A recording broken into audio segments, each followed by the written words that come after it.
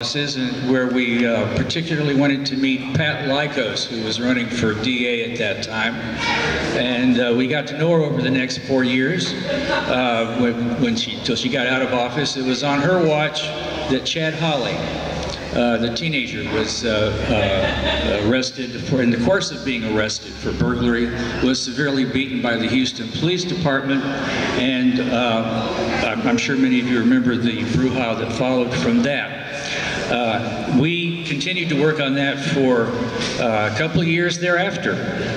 Um, and I, I learned quite a bit in the way we went about that. Uh, on the Green Party, I've been, I, uh, many consider me a, uh, a, petition circulator extraordinaire, but I was uh, shown up by Mother Dimberg with the petition we put together uh, for the reform of uh, criminal justice and, and police procedures here in Harris County.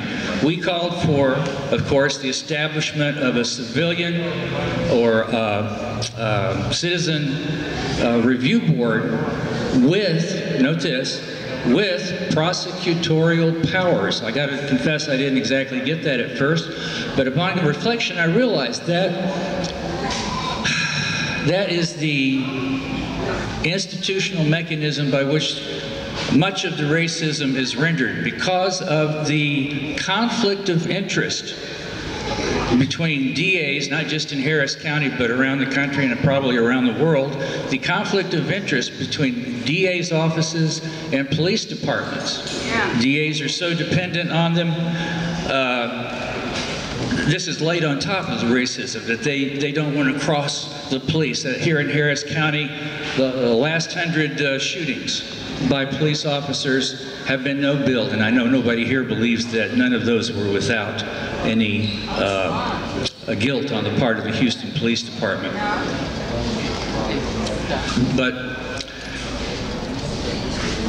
I have great respect for Kofi. I've learned a lot from him, and uh, I'll even say that I love him. And uh, just just to get off stage here, I'll just say something that I, I like, which is. Uh, Red, black, and green. Do you know what I mean? On the scene, baby! Um, You're a learner. green, black, and red. Did you hear what I said? red, green, and black. Yeah, we're on the right track. Thank you.